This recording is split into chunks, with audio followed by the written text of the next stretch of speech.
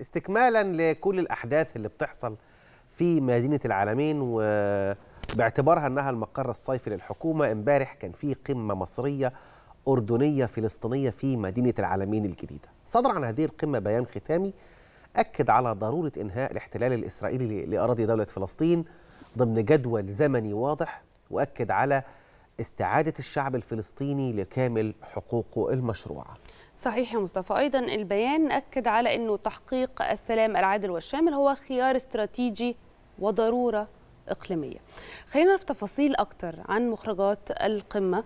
معانا في فقرتنا النهارده الكاتب الصحفي جمال رائف نورنا في الاستوديو في استوديو صباح الخير يا مصر عشان نعرف كل هذه التفاصيل. صباح الخير على حضرتك نورنا في صباح الخير يا مصر. صباح الخير على حضراتكم وصباح الخير على كل السادة المشاهدين. أهلا بيك أستاذ جمال. وربما يعني ناس كتير بتسأل القمة عقدت عقب أحداث ربما مرت في المسجد الأقصى وأحداث لها علاقة بالاستيطان الإسرائيلي.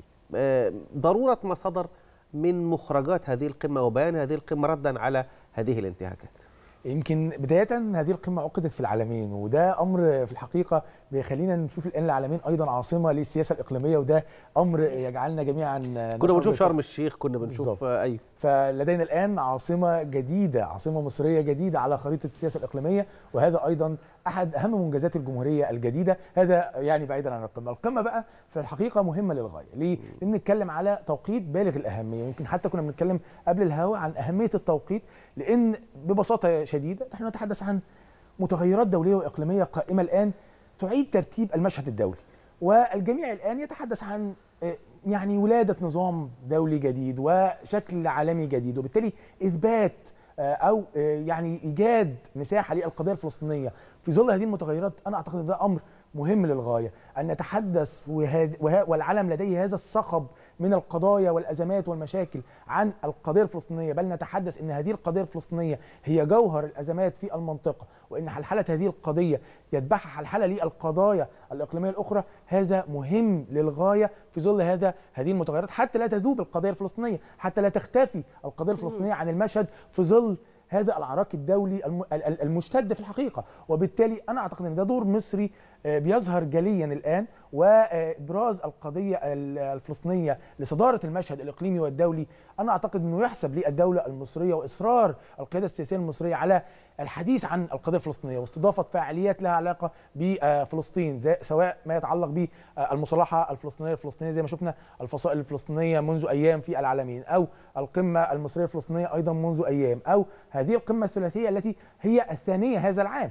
يعني عقدت أيضا قمة ثلاثية ما بين السيد الرئيس عبد الفتاح السيسي وقادة فلسطين والأردن أيضا في أول هذا العام. وبالتالي نحن نتحدث عن زخم وحراك مصري تجاه القضية الفلسطينية في ظل متغيرات دولية وأهمية وإقليمية. أعتقد إن هو بيؤكد إن الدولة المصرية لديها ثوابت راسخة فيما يتعلق بالقضية الفلسطينية وأهمية حل وإيجاد حل شامل وعادل لهذه القضية. وده اللي كان موجود في البيان الختامي اللي شمل 13 بند كلهم بيأكدوا في الحقيقة على هذه الثوابت. فكرة إيجاد دولة طبعا فلسطين طبعا وعاصمتها القدس الشرقية فكرة إيقاف أو وقف إرهاب المستوطنين. وإيجاد هذا المصطلح بهذا الوضوح. أنا أعتقد أن ده مهم جدا وأن نجد هذه اللغة الواضحة. من يعني توصيف لما بالضبط لما يحدثه المستوطنين من إرهاب وتخويف لاهالينا في فلسطين. هذا مهم للغاية أيضا ما يتعلق بالعمل الإقليمي والدولي المشترك في بشأن هذه القضية. أحياء مسار السلام وغيرها من ثوابت ضمها البيان. أيضا الإشادة في هذا البيان بالدور المصري على نطاق المصالحة الفلسطينية. يمكن نحن رأينا منذ أيام كما كنا بنتحدث أحد المحطات المتعلقة بالمصالحة الفلسطينية الفلسطينية ولكن هذه جهود ممتدة في الحقيقة. صحيح. منذ عام 2014 بالتحديد بنرى طوال الوقت جهود مصرية فيما يتعلق بالمصالحة الفلسطينية الفلسطينية. وهنا أيضا إيمان مصري إن وحدة الصف الداخلي الفلسطيني إيجاد صوت فلسطيني واحد إيجاد لحمة في الداخل الفلسطيني كلها تساهم بشكل حقيقي في أيضا دعم الدور السياسي الذي تلعبه القاهرة وعمان وفلسطين وكافة الشركاء العرب وحتى على الصعيد الخارجي والأوروبي لأن أيضا مصر شريكة طبعا في رباعية ميونخ وبتعمل طوال الوقت في إطار المجتمع الدولي لدعم القضية الفلسطينية وبالتالي هذه القمة من حيث التوقيت هي مهمة للغاية لأن بنتحدث عن كما أوضحنا متغيرات كثيرة جدا بتحدث في العالم صحيح. وبالتالي حجز مكان للقضية الفلسطينية في ظل هذا الصخب الدولي. هذه نقطة بالغة الأهمية أيضا في ظل تصاعد الأوضاع في الداخل الفلسطيني. بنشوف إزاي الاعتداءات المستمرة من الجانب الإسرائيلي تجاه المواطنين سواء في المسجد الأقصى أو في يعني بعض المناطق في فلسطين سواء في غزة أو في الضفة. أيضا هناك توقيت أيضا بيمنح فرصة للقضية الفلسطينية. كما إن هذه المتغيرات ربما تبدو إنها صعبة ولكن أيضا فيها مساحة لخلق فرصة جديدة للقضيه الفلسطينيه ده سؤال يعني مهم جدا يا أستاذ جمال لأنه في البعض يتحدث عن إنه رؤيته أو تحليله لهذه القمة آه الآن وإحنا بنتكلم عن أيضا نبرة آه آه مخرجات هذه القمة هي نبرة أقوى وأعلى. آه البعض رآها وعايز أعرف رأي حضرتك في هذه التحليلات يعني البعض يرى أنه هذه القمة بهذه المخرجات بهذه النبرة تأتي ضمن المتغيرات اللي بتحصل عالميا وتأتي ضمن تصدر الدول العربية للمشهد السياسي والاقتصادي في العالم أجمع. فبالتالي أنه بنرى أن بعض الدول الغربية بتتودد هي التي تتودد للدول العربية الآن. فبالتالي يمكن أن نحجز مكان للقضية الفلسطينية وأن يكون كارت للتعامل مع أو التودد للدول العربية بما إنها قضية مركزية، القضية الفلسطينية شيء ما بين هي قضية مركزية. بالتأكيد يمكن أتفق مع حضرتك في هذه النقطة لسبب يعني الجميع أصبح يلاحظوا بشكل واضح إن بالفعل هناك زخم في العمل العربي غير مسبوق.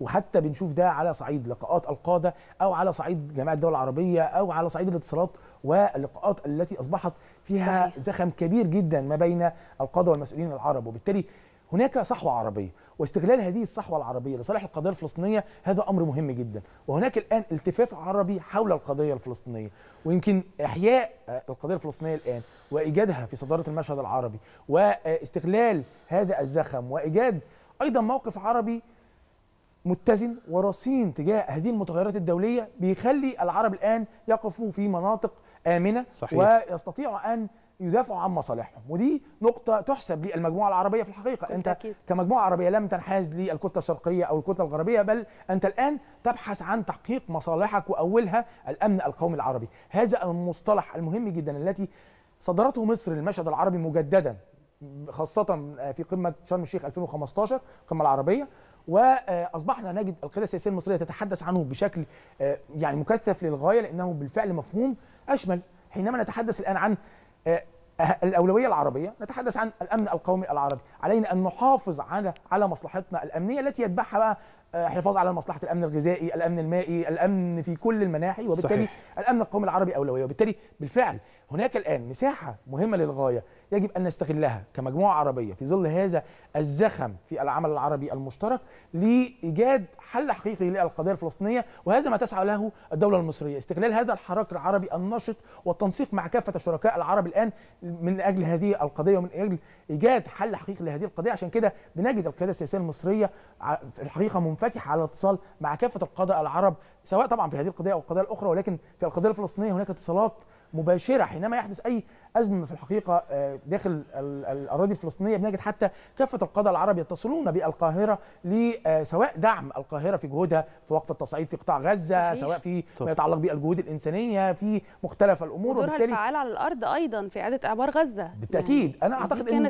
المجتمع كان العربي قوي جدا وده ودي نقطة مهمة جدا إن الدور المصري كمان في ما يتعلق بدعم فلسطين ذهب إلى مسارات عمل جديدة. صحيح. حتى غير مسارات العمل التقليدية. يعني نعم نتحدث عن مسارات عمل دبلوماسية مهمة وسياسية مهمة وإنسانية مهمة ولكن مصر كمان ذهبت إلى الإعمار ذهبت إلى التنمية. صحيح. من خلال أيضا رؤيتها فيما يتعلق بأن التنمية والإعمار مساهم حقيقي في ترسيخ السلام والاستقرار. وبالتالي نحن نتحدث عن رؤية مت- مصرية وعمل مصري شامل مست... بي- بيستند على صحيح. العلاقات أيضا المصرية العربية التي أصبحت آه، في أحسن حالاتها. بل أنا أعتقد إن اهتمام الدولة المصرية بعد عام 2014 لتكون الدائرة العربية دائرة اهتمام أولى في آه، محور تحركها الإقليمي ده خلاها أيضا الآن تكتسب مكانة إقليمية ودولية متميزة. والجميع الآن يثق في القاهرة كشريك و- وشريك موثوق فيه مش بس في القضية الفلسطينية في الحقيقة ولكن في مختلف القضايا الإقليمية ولكن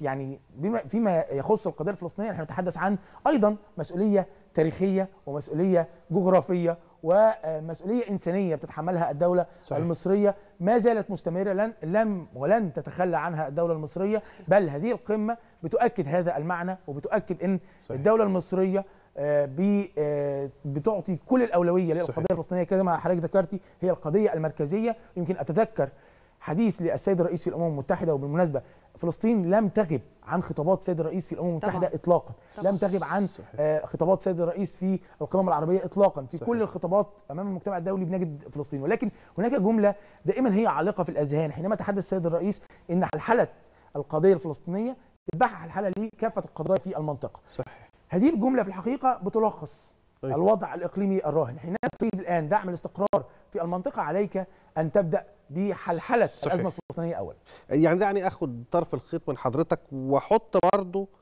يعني خطوط تحت الجمل اللي اتقالت في آه، آه، البيان المشترك آه، يعني بمنتهى الأمانة يعني حضرتك قلت إن فلسطين لم تغب ابدا عن البيان الرسمي المصري طوال سنوات طويلة سواء في المحافل الأممية أو المحافل الإقليمية و- وبمنتهى الأمانة أنا تابعت كل يمكن خلال ال- ال- العشرين سنة اللي ماضت آه، آه، البيانات التي خرجت من الجانب المصري فيما يتعلق بهذا الشأن.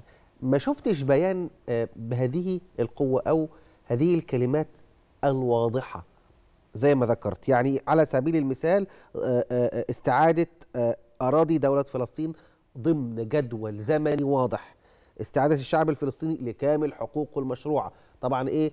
بما فيها ما قبل حدود الرابع من حزيران أو يوليو عام 67 آه، آه، آه، تعليقك على هذه الجمل وتعليقك على يعني اتساقا ما ذكرته في السياق الخاص بالمتغيرات الدولية. يمكن أتفق مع حضرتك لأن بالفعل هناك جمل وعبارات مهمة جدا في هذا البيان الختامي. على راسها طبعا فكرة تحديد جدول الزمن. م. وطبعا آه، الجملة الأخرى أو أو العبارة الأخرى المتعلقة أيضا بوصف ما يحدثه المستوطنين من إرهاب وتخويف للاشقاء في فلسطين. هذه جمل يجب أن نتوقف عندها لأن بالفعل نحتاج إلى جدول زمني لأن ليس لدينا رفاهية الوقت.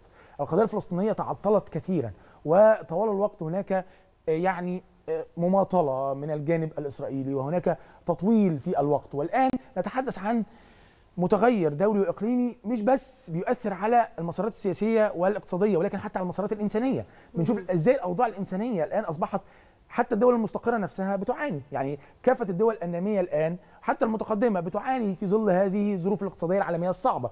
ما بالك بقى في بدولة آه، هي تحت وطأة الاحتلال. وبالتالي أيضا العنصر الإنساني بيفرض على الوضع الراهن أن يكون هناك بالفعل جدول زمني يحدد آه، مسار العمل ويرتب أولويات العمل حتى نصل إلى آه، بر الأمان في القضية الفلسطينية. أيضا آه، وضع ما يحدثه المستوطنين في آه، توصيف حقيقي وتوصيف صحيح ووصفه بالإرهاب ده مهم جدا لأنه بالفعل تخويف مستمر للفلسطينيين. يعطل الحياة يعطل آه، مسارات السلام بيعرقل كافة جهود آه، ال- السياسية والدبلوماسية قبل أي للعمل شيء. يعني وغير إنساني قبل أي شيء ومن ضمن كمان يمكن المخرجات اللي تابعناها وفكرة فعلا المصطلحات الواضحة كانت مهمة جدا. يعني حتى أيضا تابعنا ضمن آه، آه، مخرجات البيان الختامي فكرة رفع الحصار عن غزة ورد الأموال الفلسطينية المحتجزة لدى سلطة الاحتلال. يمكن تابعنا نقاط كتير جدا ومهمة جدا وفي غاية الوضوح. بس خليني هنا هسأل حضرتك أستاذ جمال بلسان حال المشاهد هو قاعد بيتفرج دلوقتي آه، ماذا تضيف هذه القمة للقضية الفلسطينية؟ ما الذي يضمن كسر الجمود جمود عمل الجمود الذي يتخلل عملية السلام؟ يمكن ما تضيفه هذه القمة هو آه، إثبات الوجود. هو آه، بنتحدث أن هذه القضية قائمة أن هذه القضية سوف نقاتل من أجل حمايتها وسوف ندعمها بكل ما أوتينا من قوة ولن نتخلى عنها حتى في ظل آه، انشغال الإقليم والعالم بكثير من الأزمات الأخرى ولكن تظل هذه القمة. وبالتالي إثبات هذا الأمر أنا أعتقد ان هو من أحد أهم أولويات هذه القمة. أيضا التعبير عن المواقف الواضحة والصريحة وعن الرغبة المصرية والعربية بإيجاد حل شامل وعادل للقضية الفلسطينية كأولوية عمل الآن أيضا هذا أمر مهم جدا.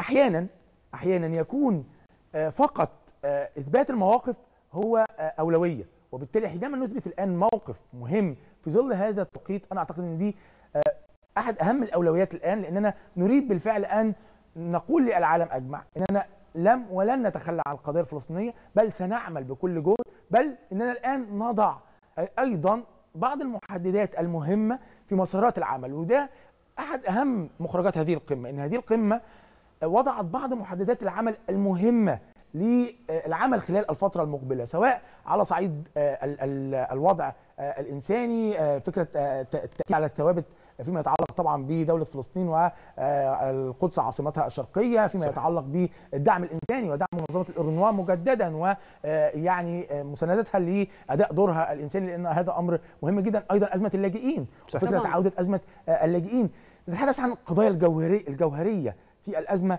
آه، الفلسطينية وبالتالي أنا أعتقد إن هذه القمة آه، بتأكد على هذه المعاني وبتثبت آه، الآن إن آه، المجتمع العربي وهذا الحراك المصري الأردني الفلسطيني الآن آه، لم ولن يتنازل عن مسارات العمل تجاه هذه القضية. ولن ينشغل. ولن ينشغل. أنا أعتقد إن هذه النقطة المهمة لأن زي ما حضرتك بتقولي الجميع الآن منشغل بأزمات أخرى. الجميع منشغل بالأزمات العالمية الكبرى والأمن الغذائي والأزمات الاقتصادية العالمية وما يحدث في شرق أوروبا وما يحدث- في بحر. الصين الجنوبي وما يحدث حتى في آه، الساحل الأفريقي وغيرها من المناطق.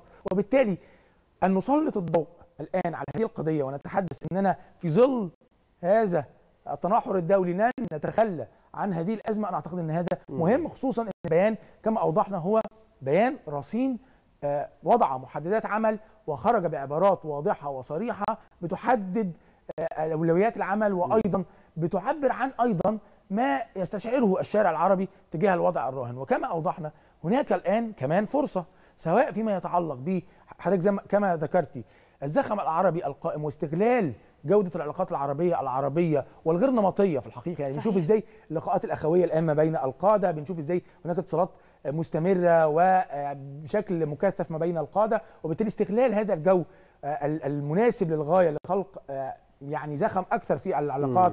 وأيضا في تطوير العلاقات مهم جدا ويصب في صالح فلسطين أيضا أمر مهم لا ننسى إن الداخل الإسرائيلي الآن يعاني بما أصفه أنا صحيح. من هشاشة سياسية صحيح يعني الجميع يرى مظاهرات ضد طوال ال- الوقت آه. يعني هناك قانون القضاء بالظبط لا وما قبلها يعني آه. بنتحدث عن عدد يعني ست أو أو خمس انتخابات متتالية عدد استقرار في آه، آه، الحكومات الإسرائيلية السياسية. آه، وبالتالي أيضا آه، الضغط العربي هنا مهم أن أن تضغط وتدافع عن قضيتك الفلسطينية في ظل هذا الوضع وفي هذا التوقيت أيضا هذا مهم وبالتالي استغلال الزخم العربي ووحدة الصف العربي والصحوة العربية واستغلال أيضا الوضع الداخلي الإسرائيلي صحيح. وأيضا استغلال الوضع الإقليمي الذي أنت الآن بتحتل فيه مكانة جيدة للغاية وبالتالي عليك أيضا أن تستغل وضعيتك المناسبة والآمنة للدفاع عن قضيتك المركزية وهي القضية الفلسطينية. أم، قبل 67 كانت الأردن آه، أو كانت الضفة الغربية تحديدا تحت الإشراف آه، آه، الأردني كانت تحت وصاية ال- الأسرة آه، آه، الهاشمية في الأردن وكان قطاع غزة تحت الإشراف المصري وقت الرئيس جمال عبد الناصر. ده قبل 67 في عام في عام 2023 يجتمع آه، الملك الأردني مع الرئيس المصري بحضور رئيس السلطة الفلسطينية من أجل آه، مناقشة مستجدات الساحة الفلسطينية تعليقك يمكن هناك أيضا نقطة مهمة عشان حضرتك ذكرت موضوع المقدسات أيضا في فلسطين أو في آه، الأقصى بالتحديد وهناك أيضا تأكيد في هذا البيان على آه، طبعا الوصايه الهاشمية فيما يتعلق بهذه المقدسات وهذه نقطة أيضا مهم التأكيد عليها في هذا التوقيت حتى لا ينسى الداخل الإسرائيلي وضعية هذه آه، ال- المقدسات وبالتالي هذه نقطة مهمة. أنا أعتقد إن هنا حضرتك تريد أن تشير للدور المتصل والتاريخي لفلسطين آه، للاردن ومصر في آه، القضية الفلسطينية.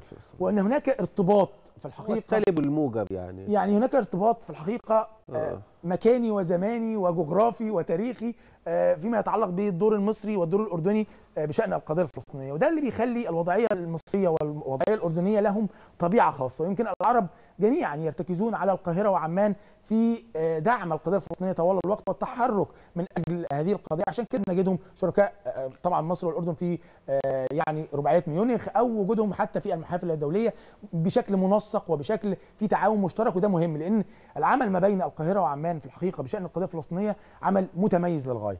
ويحسب للقيادات السياسية إنهم لديهم هذا التنسيق الغير مسبوق في الحقيقة فيما يتعلق بالعمل المشترك في كافة المحافل الدولية والإقليمية بشأن القضية الفلسطينية وأعتقد إن ده أضاف كثيرا للقضية ووضع آه، رؤية موحدة وخطة عمل موحدة أضافت للقضية الفلسطينية. وبالتالي الدور المصري الأردني دور مهم للغاية وهناك اتصال آه، طوال الوقت بشأن هذه القضية حينما يحدث أي من التصعيد في الداخل الفلسطيني بنجد مصر والأردن قنوات اتصال مفتوحة بشكل مباشر للحديث وللتشاور ولإيجاد آه، مسارات للتهدئة ولإيجاد مسارات لدعم القضية الفلسطينية. وبالتالي هذا دور أنا أعتقد إنه هو آه، يعني الآن يصب في صالح آه، القضية الفلسطينية وإيجاد هذا التنسيق المستمر وهذا الاتصال الم- المستمر ما بين القاهرة وعمان. بالتأكيد هو إضافة قوية للقضية الفلسطينية. طيب. آه، أستاذ جمال بالنسبة لردود آه، الفعل لو هنتكلم للغرب أو حتى لو بنتكلم عن آه، الجانب آه، آه، الإسرائيلي وفي ظل الاضطراب الداخلي في إسرائيل. آه، تعتقد آه، ردود الفعل حول هذا البيان الختامي؟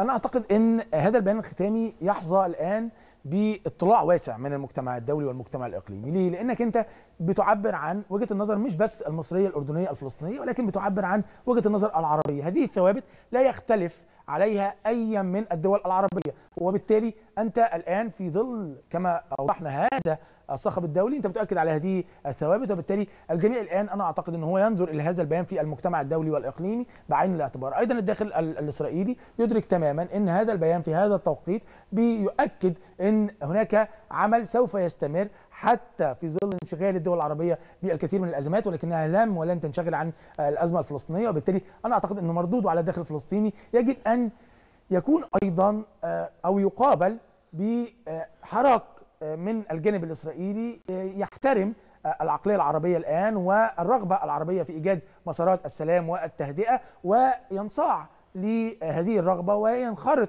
في سلام حقيقي يحدث سلام شامل وعادل في المنطقة ويحدث أيضا الحل الحقيقي للأزمة الفلسطينية. وبالتالي آه، أنا أعتقد إن هذا البيان خروج في هذا التوقيت بالتأكيد آه، يعني بيرسل الكثير من الرسائل المهمة سواء للداخل الإسرائيلي أو للمجتمع الدولي على الجميع أن ينصت لهذا البيان. ليس كونه أيضا صوتا مصريا اردنيا فلسطينيا ولكن ولكن كونه صوتا عربيا يخرج من العالمين للمجتمع. الدولي بشكل عام يعبر عن أهمية وأولوية حلحلة القضية الفلسطينية في هذا مهم. زمان أيضا يحدث حراك تجاه آه، المصالحة حتى الفلسطينية الفلسطينية يعني. بالتأكيد. آه كمان قبل أي شيء هيدعم الموقف طبعا موقف الدولة الفلسطينية بشكل كبير جدا. يعني ده أعتقد إن دي من أهم النقاط وأعتقد إنها من أهم الأولويات يا أستاذ جمال. وعلى أي حال يمكن هذا البيان وهذه القمة كمان أوضحت أهمية اللحمة العربية. وأوضحت إنه آه، العرب مجتمعين يستطيعوا أن يحدثوا فارق كبير جدا. لو نظرنا فقط حتى للمصطلحات المباشرة ضمن هذا البيان الختامي ومخرجات هذه القمة أعتقد هي بتوضح أهمية اللحمة العربية بشكل كبير جدا جدا جدا. أنا بشكر حضرتك طبعا كل آه، الشكر أستاذ آه، جمال رؤف الكاتب الصحفي. بشكرك يا فندم على كل هذه التحليلات. شكرا. شكرا لحضراتكم وشكرا لكل السادة المشاهدين. شكرا جزيلا لحضرتك.